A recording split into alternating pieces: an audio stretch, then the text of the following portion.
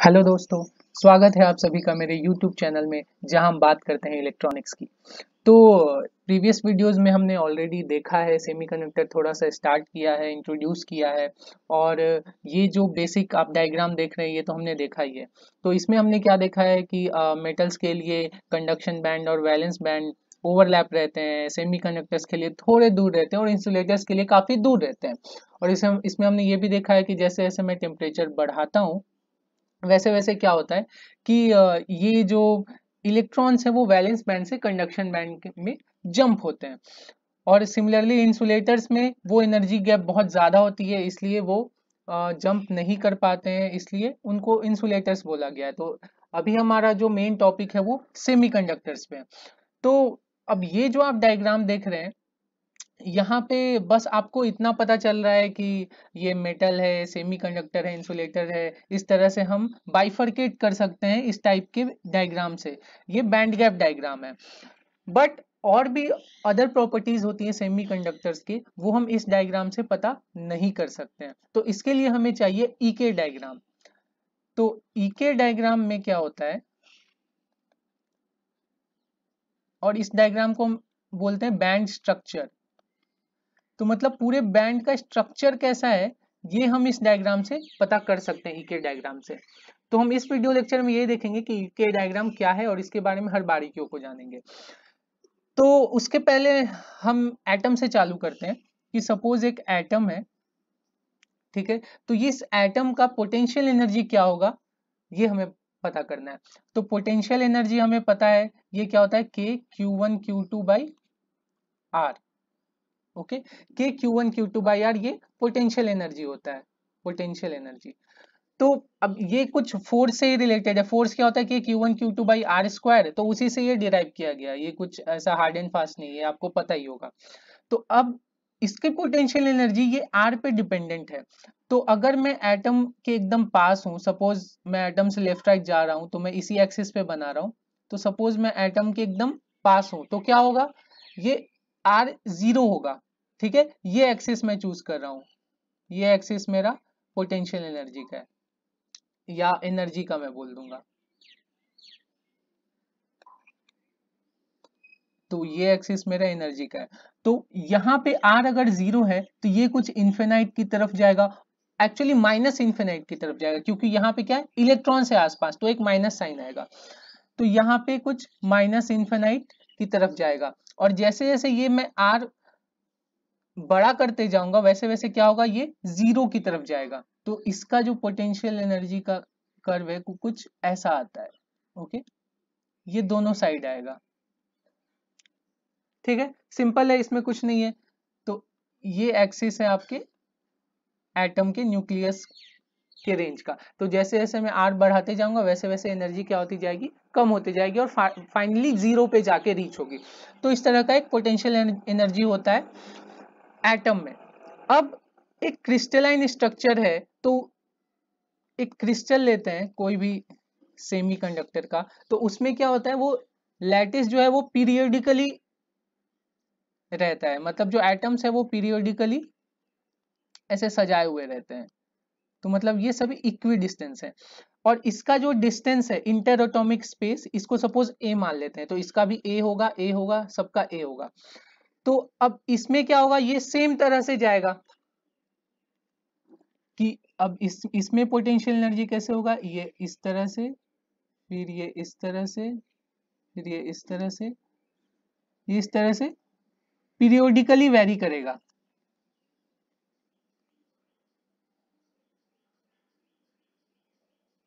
ये पीरियोडिकली समझ लो वेरी करेगा। ये पोटेंशियल एनर्जी है, ये इस, ये एनर्जी एक्सेस है। तो अब जब पोटेंशियल एनर्जी पीरियोडिकली वेरी हो रहा है किसी क्रिस्टल में, क्यों वेरी हो रहा है? क्योंकि ये पीरियोडिकली सजाया गया है क्रिस्टल में एटम्स को। तो अब इसका मोशन कैसा होगा? इलेक्ट्रॉन्स का मोशन कैसा होगा? तो ये जो मोशन ऑफ़ इलेक्ट्रॉन है ना, ये थोड़ा सा इसमें ना क्वांटम मैकेनिक्स लगता है। अब क्वांटम मैकेनिक्स वर्ड ही इतना भारी भरकम है कि सुन के डर लगता है। तो डरने की ज़रूरत नहीं है, क्योंकि हम इस पे ज़्यादा पढ़ने वाले भी नहीं है, हमारे काम का भी उतना नहीं है। बट थोड़ा बहुत हम देखने वाले हैं, क्योंकि हमें इके डायग्राम समझना है। बस थोड़ा सा बस टच करने वाले हैं, छू के आने वाले हैं, और कुछ ज़्यादा इसमें डीप नहीं जाने वाले तो क्वांटम मैकेनिक्स तो बहुत डिफ़िकल्ट है बट एक साइंटिस्ट है हमारे हेल्प के लिए, उनका नाम था एफ़ ब्लॉक ठीक है? तो ये एफ़ ब्लॉक ने क्या बोला? कि अगर आपका जो पोटेंशियल एनर्जी है, वो पीरियोडिकली वेरी हो रहा है तो जो वेव फ़ंक्शन है इसके रिलेटेड वो भी पीरियोडिक ही होगा। Okay okay? फिर से सुनेंगे। अगर आपका जो पोटेंशियल एनर्जी है वो पीरियोडिकली वेव हो रहा है पीरियोडिकली वेरी हो रहा है तो जो वेव फ़ंक्शन है वेव फ़ंक्शन भी पीरियोडिक होगा। वेव फ़ंक्शन क्यों क्यों पीरियोडिक होगा? क्योंकि उसके रिलेटेड जो प्रोबेबिलिटी है प्रोबेबिलिटी ऑफ़ फाइंडिंग इलेक्ट्रॉन है, वो भी पीरियोडिकली ही वेरी होगा। तो प्रोबेबिलिटी किस पे डिपेंड करती है कि ये इलेक्ट्रॉन यहाँ है अभी या यहाँ नहीं है या कहाँ पे है? तो वो भी जो प्रोबेबिलिटी है ऑफ़ फाइंडिंग ऑफ़ इलेक्ट्रॉन वो भी क्या होगा? पीरियोडिकली ही वेरी होगा। तो उसने क्या बोला कि एक जो वेव फ़ंक्शन है, ये साइके इसको हम वेव फ़ंक्शन मानते हैं। तो ये पीरियोडिकली वेरी होगा। तो इसको उन्होंने ऐसे दिया u of k into e to the power i k और आर के डॉट आर तो कोई भी आर डिस्टेंस पे ये जो वेव फ़ंक्शन है साई के वेव फ़ंक्शन है, ठीक है, ये पीरियोडिक होगा। तो ये पीरियोडिक कब होगा? जब u ऑफ़ के ये पीरियोडिक होगा। तो u ऑफ़ के क्या है? u of k in of u k of r is equal to u k of r plus a मतलब हर एक अब ये ये कहाँ से इसका मतलब क्या है? ये पीरियोडिक है। मतलब कोई भी आर डिस्टेंस पे इस, इसकी जितनी वैल्यू होगी आर प्लस ए पे भी उतनी होगी क्योंकि ये इंटर स्पेस ए है। तो ये इसका एक पीरियोडिक फ़ंक्शन हो गया और ये इसका जो ई टू दावर आई के आर है, वो क्या हो गया? इसका प्लेन वेव हो गया। ये प्लेन वेव का फ़ंक्शन होता है ई टू दावर आई के आर ठीक है, मैं बस बेसिक थोड़ा सा इंफॉर्मेशन दे रहा हूँ आपको। ठीक है कि ये एक प्लेन वेव का फ़ंक्शन है और ये पीरियोडिक फ़ंक्शन है u u k of r तो अब इसमें क्या होगा? अब ये जो साई ऑफ़ के है, इसको हम स्ट्रोडिंगर वेव इक्वेशन में हम पुट करेंगे। तो वो हमने क्या देखा था? पिछले लेक्चर में देखा था हमने del square of psi plus two m by h square e minus v by v into psi is equal to zero तो ये ये स्ट्रोडिंगर वेव इक्वेशन जो है तो इसमें ई e क्या था? एनर्जी आइगन वैल्यूज़ अब ये हमारे काम का है, क्योंकि हमें यही निकालना है। तो ये ये क्या है? ये एक वैल्यू नहीं, ये वैल्यूज़ है नंबर ऑफ़ वैल्यूज़ है। तो इसमें से एनर्जी के क्या होंगे? नंबर ऑफ़ वैल्यूज़ हमें मिलेंगे। तो एफ़ ब्लॉक ने क्या बोला कि अगर पोटेंशियली पोटेंशियल वेरिएशन वो पीरियोडिक है तो ये जो एनर्जी आइगन वैल्यूज़ हमें मिलेंगे, वो भी क्या होंगे? पीरियोडिक होंगे। हर एक आइगन वैल्यू पीरियोडिक होगा। तो अब ये जो साई है, ये यहाँ से हम पुट करेंगे इस इक्वेशन में ओके और यहाँ पे भी पुट करेंगे और इसको पूरा सॉल्व किया मैथ मैथमेटिक्स है जो कि यहाँ पे बिल्कुल समझाने की ज़रूरत नहीं है। तो यहाँ से उनको जो एनर्जी आइगन वैल्यूज़ मिले ये ई e, ये कुछ पीरियोडिक मिले। तो ये कैसे मिले कि यहाँ पे सपोज़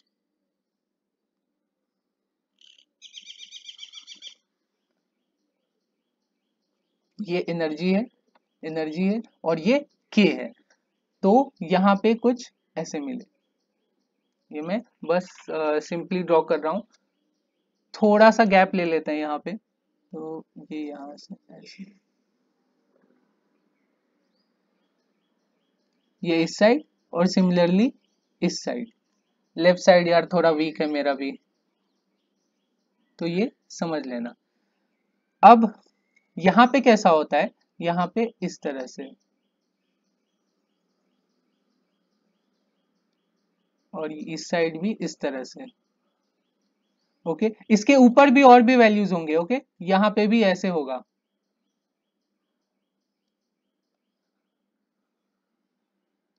और भी ऊपर बहुत सारे एनर्जी आइगन वैल्यूज़ होंगे, और बट हर एक जो एनर्जी की वैल्यू होगी, वो क्या होगी? पीरियोडिक होगी। तो ये यहाँ पे ज़ीरो और इस, इसको मैं बोलता हूँ पाई बाई ए ये ए कहाँ से आया? ये इंटर ऑटोमिक स्पेस है। सिमिलरली ये जो दूसरी वाला आएगा सॉरी ये नहीं, इसके पहले भी आएगा ना, यहाँ पे। तो यहाँ पे क्या आएगा? Two pi by a similarly यहाँ पे माइनस पाई बाई ए और यहाँ पे ये थोड़ा बहुत ऊपर नीचे हो गया, चलेगा। Minus two pi by a ठीक है? तो अब ये कहाँ से आया? Pi by a two pi by और ये के क्या है? के तो सर आपने समझाया नहीं कुछ भी। तो के मैं अभी बताऊँगा आगे, ठीक है? और यहाँ बस इस, बट इस डायग्राम से मुझे ये एक चीज़ समझानी है कि ये जो के है वो रेसिप्रोकल रेसिप्रोकल स्पेस है।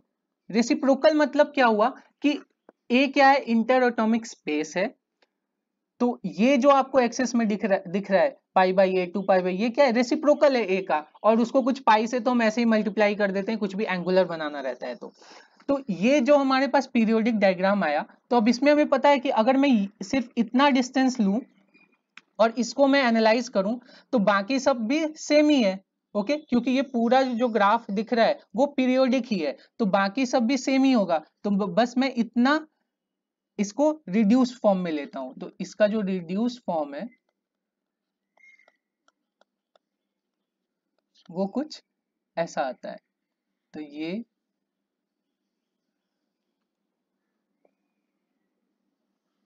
यहाँ से ये के और ये एनर्जी ओके तो ये ऊपर ऐसे और नीचे ऐसे। तो ये रिड्यूस फॉर्म में, अब ये डायग्राम आपने देखा देखा हुआ लग रहा होगा, ठीक है? तो इसमें कैसा है? हर एक जो के वैल्यू है, अब के की भी डिस्क्रीट वैल्यूज़ होंगी, ठीक है? के की बहुत सारी ये, सारे पॉइंट्स पे ये के नहीं होगा, कुछ डिस्क्रीट वैल्यूज़ होंगी। उसके करस्पॉन्डिंग कुछ एनर्जी के डिस्क्रीट वैल्यूज़ होंगे, ठीक है? तो मतलब ये जो मैंने ग्राफ ऐसे डायरेक्टली ऐसे बना दिया है, वो ज़रूरी नहीं कि वैसा हो, वो ऐसा ऐसा ऐसा ऐसा भी हो सकता है, क्योंकि सारे एनर्जी वैल्यूज़ डिफाइंड नहीं है। बट वो कितने होंगे, वो हम आगे के लेक्चर्स में देखेंगे, ठीक है? अभी बस इसको मैं कंटिन्यूसली ड्रॉ कर रहा हूँ, ठीक है? और एक्चुअली में आगे भी हम देखेंगे, ये कंटिन्यूस ही रहता है, क्योंकि ये नंबर ऑफ़ पॉइंट्स ना बहुत ज़्यादा रहते हैं तो हम इसको एनालॉगस ही मान सकते हैं। तो अब ये जो minus pi by a two pi by a इसको हम बोलते हैं first Brillouin zone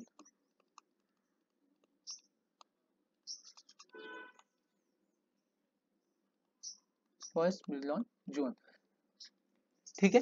बहुत सारे नए नाम दिख रहे हैं बट टेंशन लेने की ज़रूरत, बस मैं थोड़ा आपको इन्फॉर्मेशन दे रहा हूँ। एक्चुअली ये प्योर फिजिक्स मटेरियल साइंस में आता है इंजीनियर्स को तो पढ़ने की ज़रूरत भी नहीं है। बट थोड़ा सा मैं जो होता है ना प्रीवियस आइडिया बस आपको दे रहा हूँ। आपको ज़्यादा कुछ नहीं भी समझ में आ रहा हो तो टेंशन लेने की बात नहीं है। तो ये आ गया हमारा रिड्यूस फॉर्म में इस तरह का डायग्राम तो इसी को बोलते हैं ई के डायग्राम ओके तो ये जो आपको स्ट्रक्चर दिख रहा है, ये एक डायरेक्ट बैंड गैप सेमीकंडक्टर का है। ठीक है, डायरेक्ट बैंड गैप सेमीकंडक्टर। और एक टाइप का सेमीकंडक्टर होता है। अगर इसी, अगर आप इसी में, मैं ऊपर वाले, सपोज़ मैं ये जो ऊपर वाला है, इसको ही थोड़ा सा शिफ्ट कर दूँ। ठीक है, पाई बाई ए से और शिफ्ट कर दूँ। तो ये क्या होगा? ये जो मिनिमा है वो यहाँ पे होगा। तो हम इसको देखेंगे। तो हम दोनों को एक साथ ड्रॉ करता हूँ कि ये तो हमारा डायरेक्ट वाला है, ठीक है? ये डायरेक्ट वाला है ओके ये के और ये एनर्जी एक और क्या आता है? इनडायरेक्ट वाला. तो इनडायरेक्ट वाला कैसे आता है? कि यहाँ पे इसका मैक्सिमम पॉइंट है और यहाँ पे भी इसका भी मैक्सिमम ही पॉइंट होगा और ये फिर इधर से कर्व होके ऐसे जाएगा। तो ये इसका ईसी e हो गया और ये इसका ईवी e हो गया। तो ये हो गया इनडायरेक्ट बैंड गैप सेमीकंडक्टर और ये हो गया डायरेक्ट बैंड गैप सेमीकंडक्टर तो इन दोनों में अंतर क्या है? एक्चुअली ऑप्टो इलेक्ट्रॉनिक्स में इसका बहुत काम आता है। बस थोड़ा सा समझेंगे इसको कि अगर सपोज़ यहाँ से अगर किस, कुछ इलेक्ट्रॉन्स को ऊपर जाना है तो यहाँ पे क्या होगा? कुछ कंजर्वेशन ऑफ़ एनर्जी लगेगा। ओके कंजर्वेशन ऑफ़ एनर्जी लगेगा तो क्या होगा? एक फोटोन इसको ऑब्ज़र्व करना पड़ेगा। सिमिलरली अगर यहाँ पे कुछ इलेक्ट्रॉन है, ठीक है? और अगर वो नीचे आ रहा है तो ये क्या करेगा? एनर्जी रिलीज़ करेगा इन टर्म्स ऑफ़ फोटोन तो मतलब लाइट निकालेगा ये।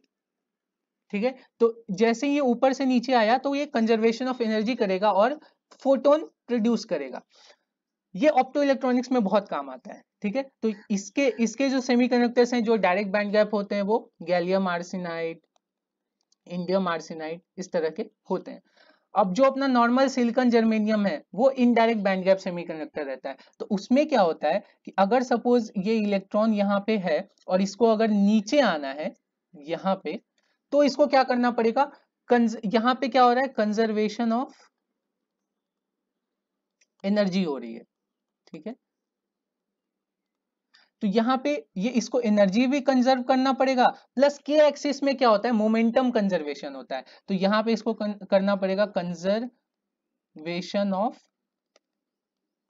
एनर्जी तो कंजर्वेशन ऑफ़ एनर्जी के कारण क्या होता है? हमारा फोटोन रिलीज़ होता है। ओके फोटोन रिलीज़ होगा ये, ये, कंजर्वेशन ऑफ़ एनर्जी से। और दूसरा क्या होगा?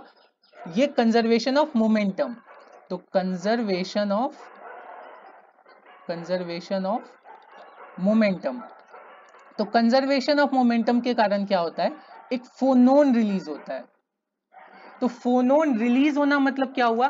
फोनोन क्या होता है? जो लैटिस होता है, उस लैटिस में वाइब्रेशन आता है। स्प्रिंग टाइप के वाइब्रेशन आते हैं लैटिस में। ये जो स्ट्रक्चर आपको दिख रहा है, इस तरह से।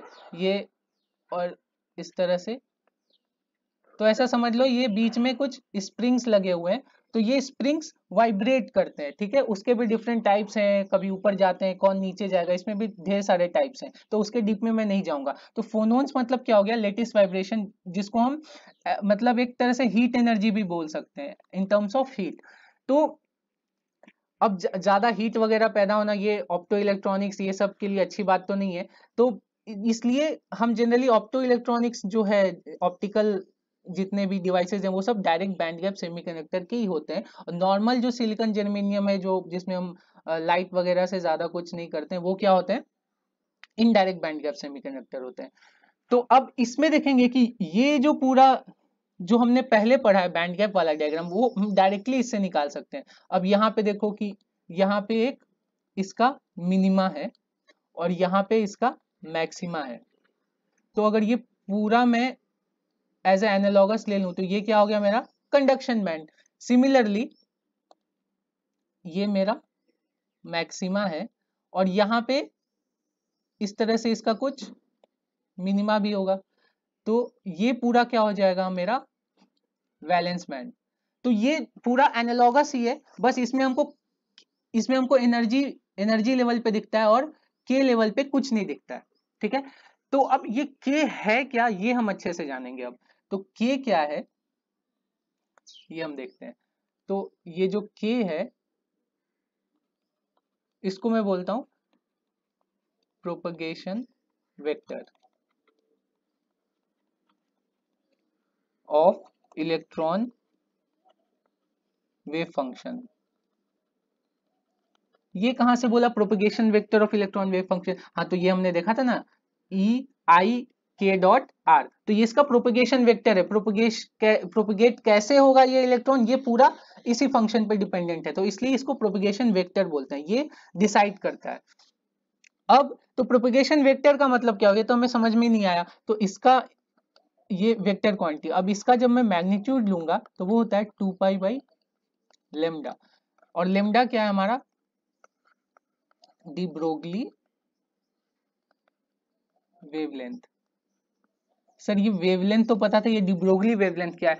तो सेम ही है वेवलेंथ और डिब्रोगली वेवलेंथ सेम ही है। डिब्रोगली ने बस क्या बोला था ये कि जो वेवलेंथ है हम जनरली किसी साइन वेव या कुछ ऐसे वेवलेंथ मतलब कुछ स्ट्रिंग वेव्स या ऐसे जो होते हैं या पानी में जो वेव्स होते हैं, उस, वो वेवलेंथ जनरली सबको पता था। डिब्रोगली ने क्या बोला कि पार्टिकल्स में भी कुछ वेव फ़ंक्शंस हैं, ठीक है? उसका भी वेव नेचर है। तो वो भी वेव नेचर दे सकते हैं। तो ये पार्टिकल्स में जो वेव है, उनका वेवलेंथ कितना है, वो डिब्रोगली ने बताया था, इसलिए इसको डिब्रोगली वेवलेंथ बोला जाता है। अदरवाइज़ ये वेवलेंथ और उस वेवलेंथ में कोई खास डिफरेंस है नहीं। ये बस कॉन्टेक्स्ट चेंज हो जाता है, इसलिए डिब्रोगली का नाम लगा दिया साइंटिस्ट का। ठीक है तो इससे ज़्यादा घबराने की ज़रूरत नहीं तो इसका यहाँ, अब हमें ये पता चल गया मतलब बहुत आसान हो, क्योंकि हमें यूनिट पता चल गई। अब यूनिट पता चल गई तो आधी चीज़ें ऐसे ही पता चल गई ये रेडियन पर मीटर है। ओके तो ये हमने बोला था ये रेसिप्रोकल स्पेस है तो वन बाई मीटर तो है ही। तो अब हम देखते हैं कि इसका सिग्निफिकेंस क्या है। तो अगर ये कोई वेव है, इस तरह से, इस तरह से कोई वेव है तो इसका वेवलेंथ क्या होगा? ये दो मैक्सिमम पॉइंट्स के बीच में हम ले सकते हैं। इसी को हम लेमडा बोलते हैं। तो के क्या है हमारे पास? एक्चुअली में वन अपॉन लेमडा है। सपोज़। तो वन अपॉन लेमडा का क्या मतलब है? लेमडा क्या है? वेवलेंथ। तो वन अपॉन लेमडा मतलब कि कोई भी यूनिट लेंथ में कितने नंबर ऑफ़ वेव्स होंगे? तो ये क्या है? इसका मतलब क्या? Number of waves per unit length. Per unit length. कोई भी यूनिट लेंथ में। तो इसको क्या बोला गया? इसको बोला गया है वेव नंबर। सही बात है। ये क्या बताता है? नंबर ऑफ़ वेव्स बताता है पर यूनिट लेंथ तो इसको बोलेंगे वेव नंबर और इसी को अगर मैं k is equal to two pi by lambda लिख दूँ, यहाँ पे देखना ये k अलग है, ये k अलग है तो यूनिट दोनों को मैं सिंबल सेम रख रहा हूँ बट आपको डिफरेंस तो पता ही है, दोनों के में क्या अंतर है। तो इसको बोलते हैं एंगुलर वेव नंबर बस इसको टू पाई से मल्टीप्लाई कर दिया तो ये फ़ेज़ इंफॉर्मेशन भी आपको दे देगा। तो जनरली यही हम यूज़ करते हैं अपने सेमीकंडक्टर डिवाइसेस या कोई भी डिवाइस फिजिक्स में अपने। तो ये हो गया हमारे पास के स्पेस का डिफिनेशन जो कि रेसिप्रोकल स्पेस है। रेसिप्रोकल स्पेस है। अब अब सर ये तो हमें वेव नंबर आप बता रहे हो कुछ एंगुलर वेव नंबर है बट आपने वहाँ जब बताया था कंजर्वेशन के बारे में तो यहाँ कंजर्वेशन ऑफ़ मोमेंटम बताया था। तो ये फोनोन रिलीज़ करने के पहले आपने कंजर्वेशन ऑफ़ मोमेंटम किया था तो मोमेंटम कहाँ से आ गया यहाँ पे? तो इसका ना डायरेक्ट रिलेशन है एक्चुअली मोमेंटम से। ओके तो यहाँ पे क्या है? सॉरी तो अब इसका डायरेक्ट रिलेशन कैसे है मोमेंटम से? तो ये सपोज़ हमारे पास एक जो फॉर्मूला आता है मोमेंटम का, P is equal to h upon lambda ठीक है? ये कहाँ से आता है? ये E is equal to h nu से आता है. तो ये आप आप सबको पता है energy is equal to h into nu ये न्यू है, ये वी नहीं है. तो एच क्या है? प्लैंक्स कांस्टेंट है और न्यू क्या है? फ्रीक्वेंसी है. तो जो भी एनर्जी आप देंगे या जो भी फ्रीक्वेंसी प्रोड्यूस जो भी फ्रीक्वेंसी होगी लाइट की या किसी भी पार्टिकल की, उससे कुछ एनर्जी प्रोड्यूस होगा। तो यहीं से आप प्लस माइनस खेल के ये फॉर्मूला निकाल सकते हो। ठीक है? मास इंटू वेलोसिटी है ये सब, या आप ऐसे लिख सकते हो is equal to p into c लिख सकते हो आप एक्चुअली में। Is equal to p into c ये आप लिख सकते हो तो यहाँ से आप आ जाएगा। तो अब ये हमें पता है कि momentum is equal to h upon lambda ये सब एक्चुअली ट्वेल्थ में ही होगा तो आपको वो बुक्स में मिल जाएगा। कोई ऐसा बहुत बड़ी चीज़ें नहीं है तो डरना नहीं है। तो अब यहाँ पे ये आपको पता है P is equal to h upon lambda अब इसको मैं क्या करूँगा? बस टू पाई से डिवाइड कर दूँगा। एच अपॉन टू पाई और यहाँ पे क्या होगा? लेमडा अपॉन टू पाई तो अब यहाँ से सिंपल है, हमारे पास क्या आ जाएगा? ये एच अपॉन टू पाई क्या हो जाएगा? एच बार ठीक है? ये h upon two pi h cross या एच बार लिखते हैं और ये टू पाई अपॉन लेमडा ऊपर जाएगा। ठीक है? तो ये के तो यहाँ से आ जाता है momentum is equal to h bar dot k ये वेक्टर में दोनों का डॉट प्रोडक्ट होता है। तो आप यहाँ पे देख रहे हो, ये जो के है, वो डायरेक्टली मोमेंटम से रिलेटेड है और एच तो क्या है, कुछ कांस्टेंट है। ओके एच तो हमारा पास कांस्टेंट है तो ये डायरेक्टली रिलेशन है मोमेंटम और इसका। तो इस पी को हम क्या बोलते हैं, जो इसको हम बोलते हैं क्रिस्टल मोमेंटम सर, ये मोमेंटम और क्रिस्टल मोमेंटम में क्या डिफरेंस है? तो एक बहुत ही मस्त वाला डिफरेंस है, वो हम देखेंगे बस। तो अब ये क्रिस्टल मोमेंटम क्या होता है? कि सपोज़ एक से, सेमी कंडक्टर मटेरियल है या कोई भी यहाँ इस एग्जांपल के लिए मटेरियल है उस उसमें कुछ इलेक्ट्रॉन्स हैं एटम्स हैं ठीक है? अब उसको मैंने कुछ पोटेंशियल प्रोवाइड किया बैटरी से। तो इसका फोर्स हो जाएगा ई इंटू ई ठीक है? ये कुछ फोर्स अप्लाई करेगा यहाँ पे ऐसे। तो इलेक्ट्रॉन्स क्या है? वो इधर उधर मूव करेंगे, ठीक है? ऐसे ऐसे मतलब कुछ रैंडम मोशन एकदम से नहीं होगा बट जो भी मूवमेंट होगा, जिस भी डायरेक्शन में, अभी अभी नहीं, अभी उसके बारे में नहीं हम सोचेंगे। तो अब ये जो फोर्स ऑन इलेक्ट्रॉन लगेगा फोर्स ऑन इलेक्ट्रॉन वो दो टाइप का लगेगा, एक फोर्स एक्सटर्नल ठीक है एक्सटर्नल फोर्स लग रहा है और एक इंटरनल फोर्स भी कुछ लग रहा है। इंटर अटोमिक फोर्सेज जो होते हैं इंटरनल ये सब और एक्सटर्नल फोर्सेज लग रहा है। तो अब ये क्या है? माइनस ई ठीक है? और ये क्या है? इंटरनल फोर्सेस ये बहुत कॉम्प्लेक्स है। ठीक है? ये बहुत कॉम्प्लेक्स इसमें कैलकुलेशंस करने पड़ेंगे क्योंकि अंदर तो बहुत सारे फोर्सेस लगेंगे। तो हर बार एडिशन ये सब कैलकुलेशन करना बहुत मुश्किल है। तो अब ये जो पी है ये जो पी हमने यहाँ से निकाला तो इसका मतलब क्या है कि ये जो मोमेंटम है इलेक्ट्रॉन्स का ये क्रिस्टल मोमेंटम है तो ये कुछ ऐसा मोमेंटम है ना एज इफ़ कि ये एक, सिर्फ़ एक्सटर्नल फ़ील्ड के कारण मूव हो रहा है ठीक है? मतलब ये जो मॉडल किया गया है ये इतना स्ट्रांगली इतना अच्छे से मॉडल किया गया है इस ये जो आपके मोमेंटम को कि ये ऐसा हमें प्रतीत होता है ऐसा हमें लगता है कि ये सिर्फ़ एक्सटर्नल फोर्सेस के कारण ही आ रहा हो ठीक है? तो ये due to external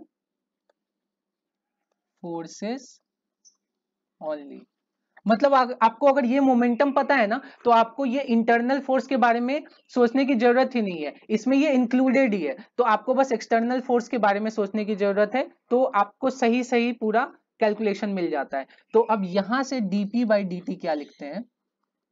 dp by d t is equal to F external is equal to minus e upon minus e okay actually हमारा क्या होना चाहिए था? एक्चुअली कुछ ऐसा होना चाहिए था, ठीक है? ये टोटल एफ़ यानी कि F external plus F internal ऐसा होना चाहिए था, जो एक्चुअल होता है। बट ये जो मोमेंटम है, वो इस तरह से मॉडल्ड किया गया है, इस तरह से उसकी वैल्यू निकल के आती है, कि हमें इंटरनल फोर्सेस के बारे में सोचने की ज़रूरत ही नहीं है। वो डायरेक्टली एक्सटर्नल फोर्सेस से हमें ये दे देता है वैल्यू इसकी। तो ये इस तरह से कितना देखो अच्छे से मॉडल किया गया कि इंटरनल फोर्सेस के बारे में कोई जानकारी जानने की ज़रूरत नहीं है। बहुत अच्छे से मॉडल किया गया है। तो ये मॉडलिंग का टाइप है। इसको हम इतने अच्छे से मॉडल किया है इन्होंने।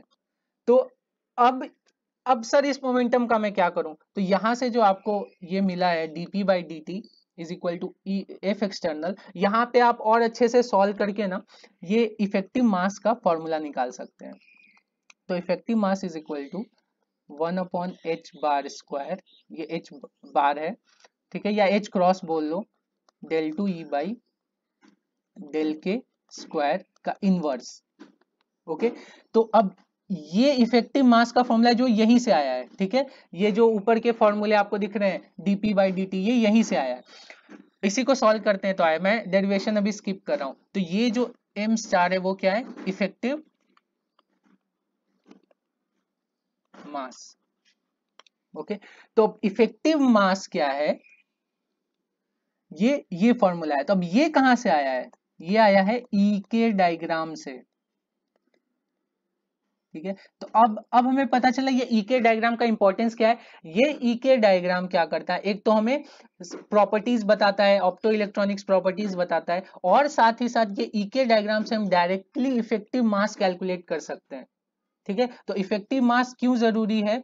इफ़ेक्टिव मास इसलिए ज़रूरी है कि इफ़ेक्टिव मास से हम डायरेक्टली उसका मोबिलिटी और ये सब चीज़ें हम निकाल सकते हैं। ठीक है? तो हमने ये देखा था ना ड्रिफ्ट वेलोसिटी के फॉर्मूले में ये क्या देखा था? Velocity is equal to e by m ठीक है?